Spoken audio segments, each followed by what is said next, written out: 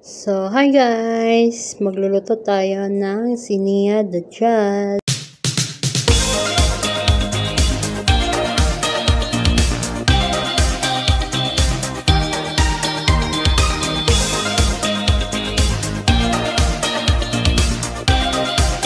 mga kailangan natin is talong, patatas, bell pepper, at saka sibuyas, bawang, manok, at saka carrots at saka bell pepper na pinagsama ko na yung bell pepper at saka carrots sa food processor para isang lutuan lang siya kasi guys. So ayan, mag fill up na tayo or magbabalat na tayo ng patatas. Mga apat po siguro na patatas itong gamit ko. Depende po sa inyo kung ilang piraso yung gagamitin ninyong patatas at depende rin kung anong kung madami rin yung gagawin ninyo. So, na depende sa inyo kung ilang peraso. Kasi ako, ito lang, apat lang yung ginawa ko. Kasi medyo malalaki rin yung patatas natin. At ito, hiniwa ko lang ng pabilog. So, ganyan po dapat yung pagkahayuan ninyo guys. Hindi po siya masyadong manipis at hindi po siya masyadong makapal kasi pag medyo ninipisan nyo po siya pag ipiprito po natin is mapuputol po siya. So para hindi po siya maputol so ganyan po yung pagkakat natin hindi siya masyadong manipis. So ang next natin ay yung bell pepper. So ganon din yung pagkahiwa natin guys pareho sa patatas. Pabilog din siya So, wag din masyadong sobrang nipis para hindi rin siya maputol. So, ganyan lang siya guys. Hugasan natin at tanggalin yung mga buto para hindi masama sa ating pagpiprito.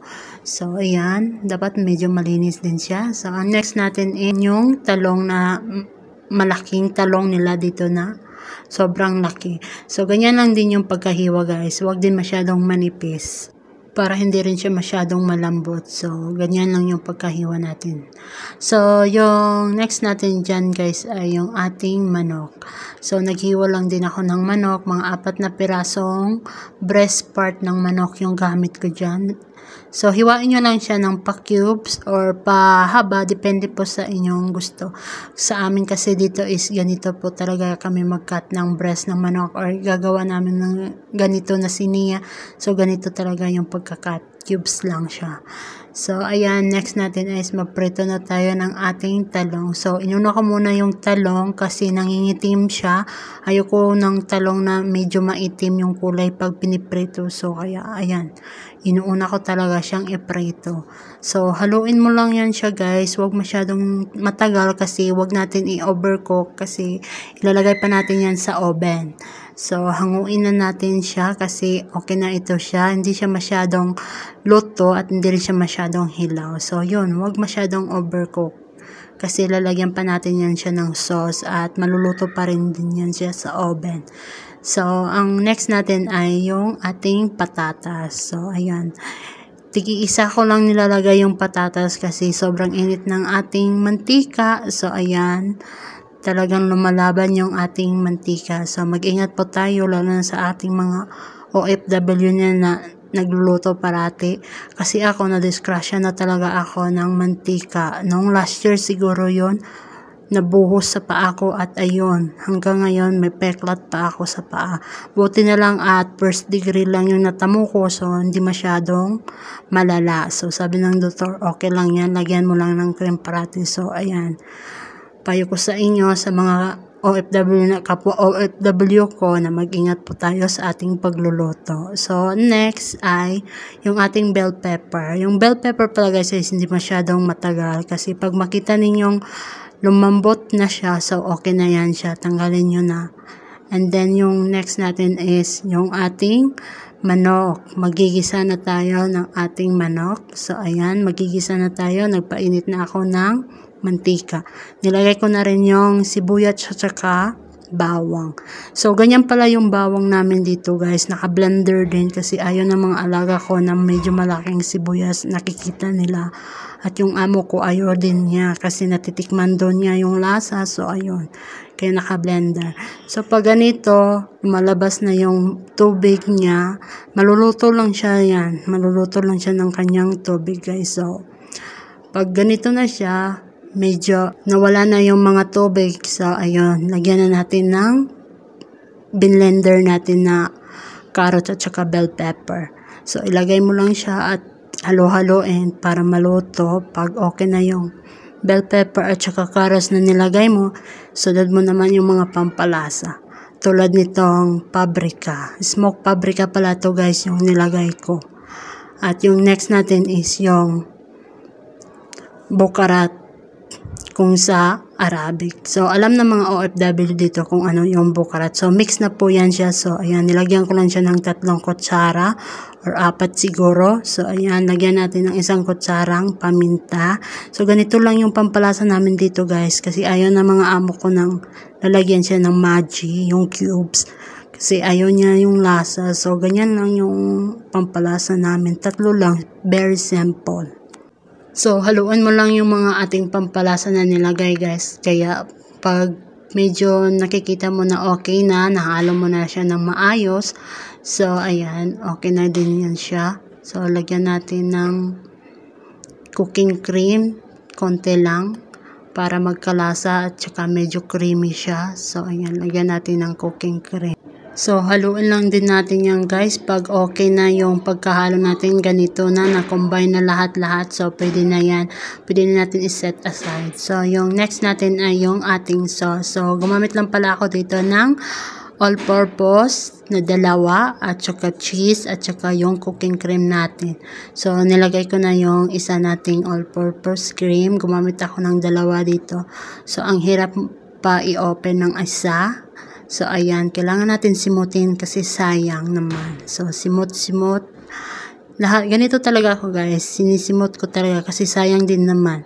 So, ayan, ang hirap pa ng isa i-open. So, ayan, lagyan natin. So, kaya pala tinatakpan ko yung bunganga ng ating blender kasi pumapasok yung cheese at saka nadudumihan. So, ayun ayoko siyang madumihan kaya tinatakpan ko ng kamay ko. So ayan natapos na natin ilagay yung dalawa.